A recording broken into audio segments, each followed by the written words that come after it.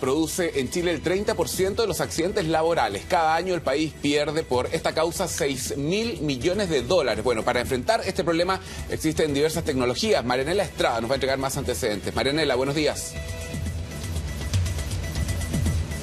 Buenos días, claro. Este es un nuevo aparato que se pretende implementar que es un alcotest laboral. Para darnos más detalles sobre a qué tipos de empresas le atañe eh, implementar este tipo de aparato de nueva tecnología, estamos con Patricio Labatut de Global Partners, gerente general, que nos va a contar un poco. Eh, Patricio, ¿ya existen empresas que pretenden implementar este nuevo sistema?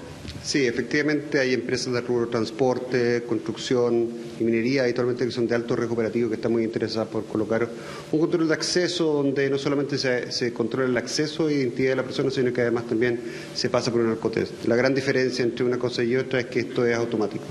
¿Por qué se decide, por qué estas empresas deciden implementar este sistema principalmente? Hay varias razones. De hecho, hay una legal que en definitiva las empresas tienen que asegurar mantener eh, lugares de trabajo eh, seguros y saludables. El artículo 184 del Código del Trabajo te exige hacerlo. Y por lo tanto, por otro lado, además también tienes em, la facultad del empleador, ¿no es cierto?, de poder mantener este tipo de medidas de control que eviten, ¿no cierto?, accidentes por un lado y por lo tanto, además de eso, la salud de los trabajadores se beneficiada. Estábamos conversando hace un rato de un caso en una minera. Si nos puedes contar un poco más para, explicar y que la gente entienda que esto no es para invadir la privacidad de los trabajadores, sino que para proteger las condiciones de trabajo de ellos. Mira, eh, es bastante conocida las mineras porque el riesgo operativo de una minera eh, es, explícito, ¿no? Pero también existe la construcción, también existen eh, empresas metalmecánicas, ¿no es cierto?, donde hay un riesgo operativo importante. Cuando hay un accidente, y su cifra de Chile de Seguridad, la probabilidad de que haya consumo de drogas y alcohol es altísima.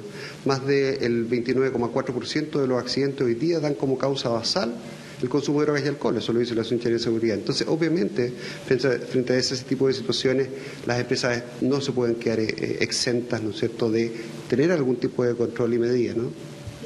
Eh, Patricio, ¿podríamos mostrar cómo funciona este sistema, por favor, para por acá? Mira, ubícate por acá para que podamos mostrarle ahí a la cámara cómo funciona esto. Esto supuestamente estaría instalado fuera de, cada trabajo antes de entrar. ¿Y la idea cuál sería? A ver, lo, primero que hay que hacer, ¿no es cierto?, es utilizar este dispositivo a través de la exhalación de aire. Si quieres podemos cerrar la puerta y podemos hacer la prueba con la puerta cerrada. Hagamos la prueba, me parece. Entonces... Tenemos la puerta cerrada, la persona se acerca al dispositivo, sopla, da luz verde, colocas tu huella digital, pase por favor, control de acceso y te abre la puerta. ¿ah?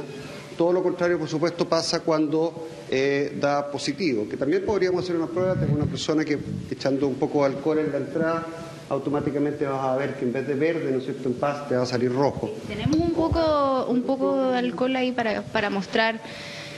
Ya, aquí Oscar nos va, mira, esto, cuéntame Oscar, ¿qué es lo que tienes ahí? Básicamente lo que tenemos acá es una muestra de alcohol, la cual voy a poner en la boquilla del alcotest para que al soplar, al exhalar aire, me dé positivo. Y me va a negar la entrada automáticamente. Cerremos la puerta. Cerremos la puerta para ver cómo funciona. Espera.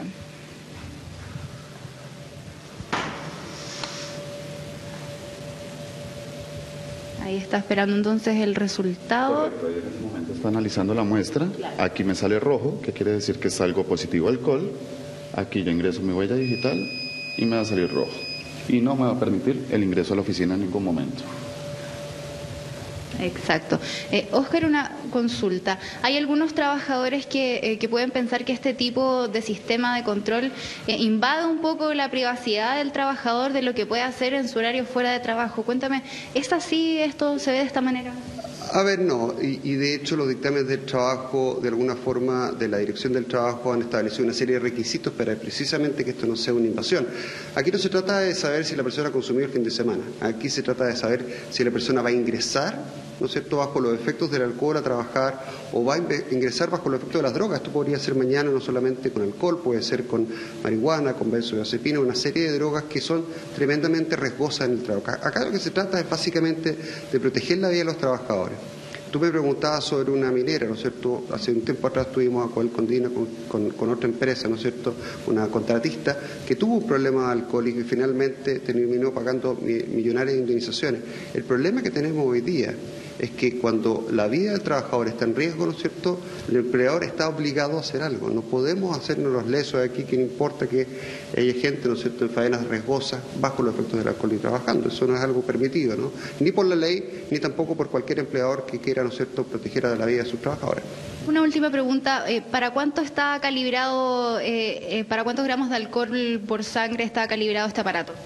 Habitualmente se utiliza 0,2 gramos de alcohol por litro de sangre, que es un, valor que no es cero, ¿no? Cero no existe habitualmente en alcohol, 0,2 estamos hablando de una cerveza a la última hora, ¿ah?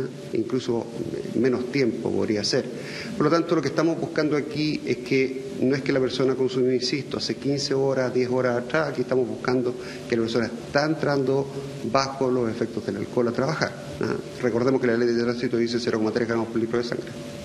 Muchas gracias por eh, aclararnos cómo funciona este aparato. Entonces, eh, la idea es evitar los accidentes laborales, como ustedes bien decían, un 30% se producen estando bajo los efectos del alcohol. La idea tampoco es invadir la vida privada de los trabajadores, sino que protegerlos en sus labores. Karim, Karina. Perfecto, muchas gracias, Marianela. Buenos días.